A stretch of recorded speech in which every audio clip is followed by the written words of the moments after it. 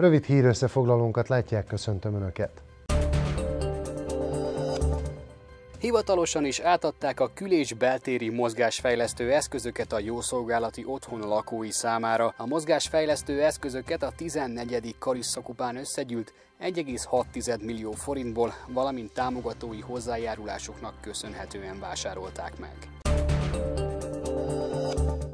A Magyar Köztisztviselők, Közalkalmazottak és Közszolgálati Dolgozók Szakszervezete egész napos sztrájkot hirdet szeptember 14-ére. A céljuk az önkormányzati dolgozók 30%-os fizetésemelése. A sztrájkhoz a Dunaújvárosi Önkormányzati Hivatal nem csatlakozott, így a megszokott ügyfélfogadási időben várják az ügyfeleiket.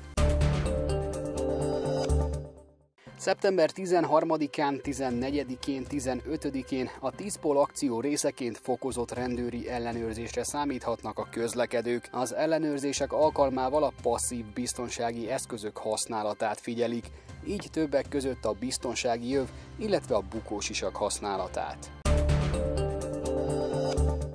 Választás 2016. szeptember 12-e és 17-e között a Dunaújvárosi Egyetem hallgatói önkormányzata új elnököt választ. Az egyetem jelenlegi hallgatói három helyszínen, a 33-as, illetve a 37-es kollégiumokban, valamint a főépület aulájában tehetik le voksukat. Változnak a televíziózási szokásaink, sokan inkább online néznek mozgóképet vagy jutnak hozzá az információkhoz, egy nemrég elkészült felmérés szerint azonban még mindig a televízió a leghatékonyabb reklámfelület.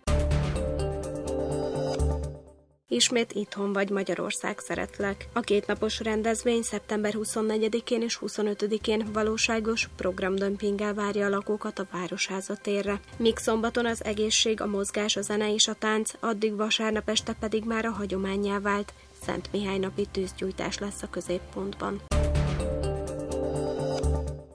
Madár Veronika és Horváth Gabriella adta koncertet a Munkás Művelődési Központ szabadtéri színpadán.